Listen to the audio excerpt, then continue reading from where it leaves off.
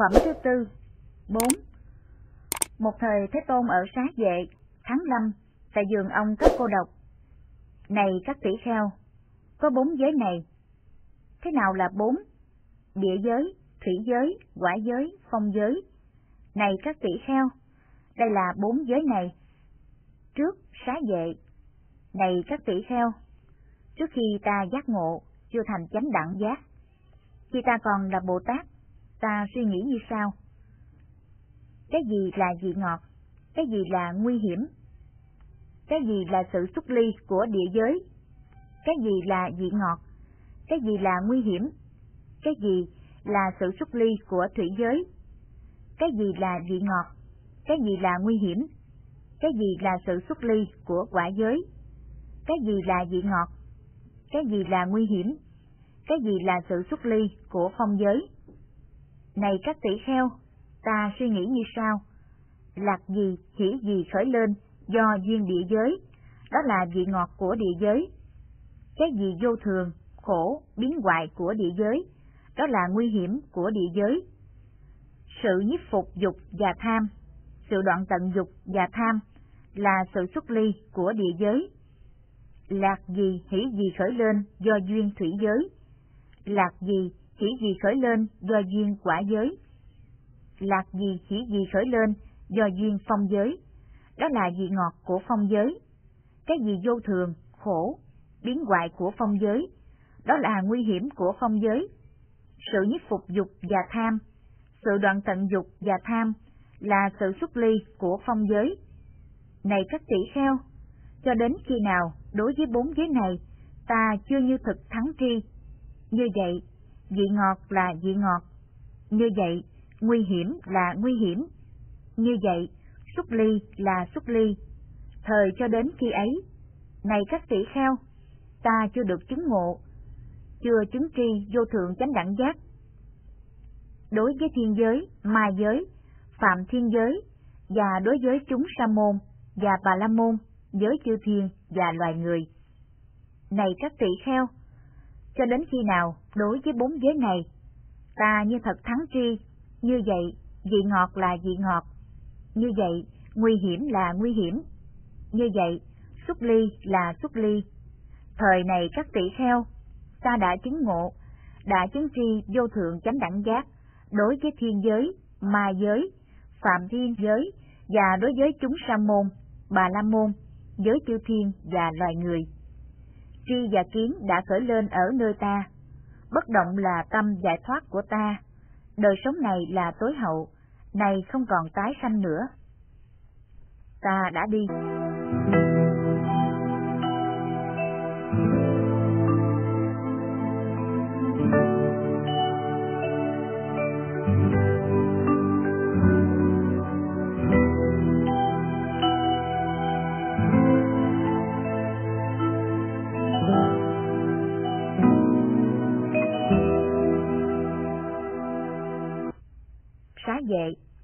Này các tỷ kheo, ta đã đi tìm vị ngọt của địa giới, ta đã đi tìm được vị ngọt của địa giới, giới trí tuệ, ta đã khéo thấy vị ngọt ấy. Này các tỷ kheo, ta đã đi tìm nguy hiểm của địa giới, ta đã tìm được nguy hiểm của địa giới, giới trí tuệ, ta đã khéo thấy sự nguy hiểm ấy. Này các tỷ kheo, ta đã đi tìm sự xuất ly của địa giới, ta đã tìm được sự xuất ly của địa giới, giới trí tuệ, ta đã khéo thấy sự xuất ly ấy. Này các tỷ kheo, ta đã đi tìm vị ngọt của thủy giới. Này các tỷ kheo, ta đã đi tìm vị ngọt của quả giới. Này các tỷ kheo, ta đã đi tìm vị ngọt của phong giới. Ta đã tìm được vị ngọt của phong giới. Giới trí tuệ, ta đã khéo thấy vị ngọt ấy. Này các tỷ kheo, ta đã đi tìm nguy hiểm của phong giới. Ta đã tìm sự được nguy hiểm của phong giới, giới trí tuệ, ta đã khéo thấy nguy hiểm ấy. Này các tỷ kheo, ta đã đi tìm sự xuất ly của phong giới, ta đã tìm được sự xuất ly của phong giới, giới trí tuệ, ta đã khéo thấy sự xuất ly ấy. Này các tỷ kheo, cho đến khi nào, đối với bốn giới này, ta chưa như thật thắng tri, như vậy vị ngọt là vị ngọt, như vậy nguy hiểm là nguy hiểm, như vậy xuất ly là xuất ly. Thời này các tỷ kheo, ta chưa được chứng ngộ, chưa được chứng tri vô thượng chánh đẳng giác, đối với thiên giới, ma giới, phạm thiên giới, và đối với chúng sa môn, bà la môn, giới chư thiên và loài người. Và này các tỷ kheo, cho đến khi nào đối với bốn giới này, ta đã như thật thắng tri, như vậy, vị ngọt là vị ngọt, như vậy, nguy hiểm là nguy hiểm, như vậy, xuất ly là xuất ly. Thời này các tỷ kheo, ta đã chứng ngộ, đã chứng tri vô thượng chánh đẳng giác đối với thiên giới, ma giới, phạm thiên giới và đối với chúng sa môn, bà la môn, giới chư thiên và loài người. Tri và kiến đã khởi lên nơi ta, bất động là tâm giải thoát của ta, đời sống này là tối hậu, này không còn tái sanh nữa. Nếu không có cái này,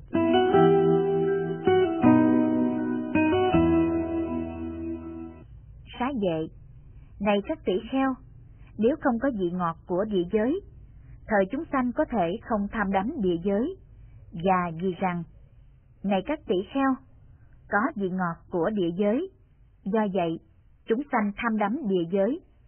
Này các tỷ kheo, nếu không có nguy hiểm của địa giới, thời chúng sanh có thể không nhằm chán địa giới, và vì rằng, này các tỷ kheo, có nguy hiểm của địa giới, do vậy chúng sanh nhàm chán địa giới.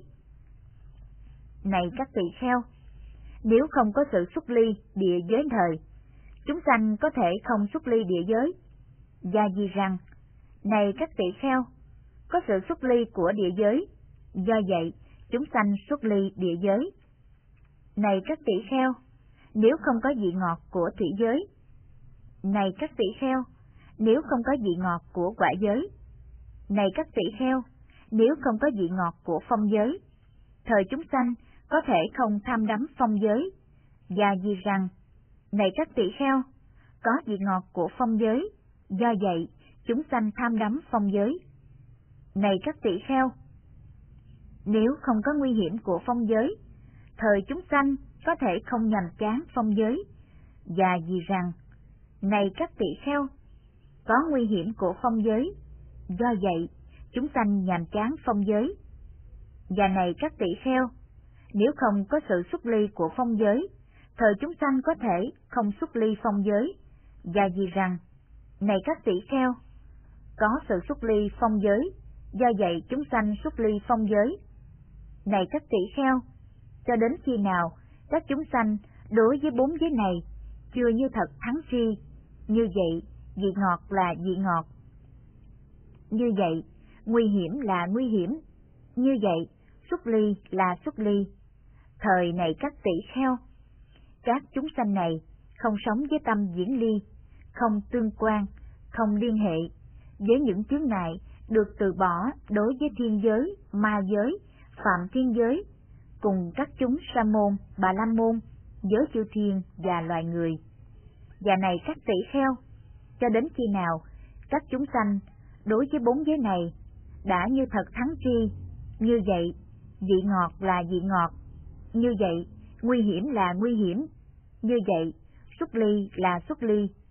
Thời này các tỷ kheo, các chúng sanh này sống với tâm diễn ly, không tương quan, không liên hệ, với những chướng ngại được từ bỏ đối với thiên giới, ma giới, phạm thiên giới, cùng các chúng sa môn, bà la môn, giới chư thiên và loài người. Khổ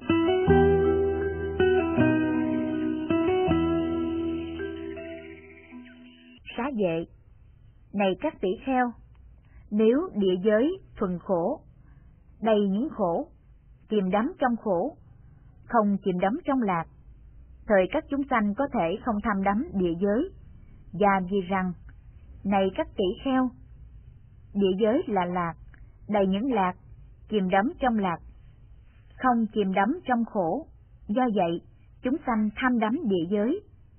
Này các tỷ kheo, nếu thủy giới, này các tỷ kheo, nếu quả giới, này các tỷ kheo, nếu phong giới thuần khổ, đầy những khổ, chìm đắm trong khổ, không chìm đắm trong lạc, thời chúng sanh có thể không có tham đắm phong giới, và vì rằng, này các tỷ kheo, phong giới là lạc, đầy những lạc, chìm đắm trong lạc, không chìm đắm trong khổ. Do vậy, các chúng sanh tham đắm phong giới. Này các tỷ kheo, nếu địa giới thuần lạc, đầy những lạc, chìm đắm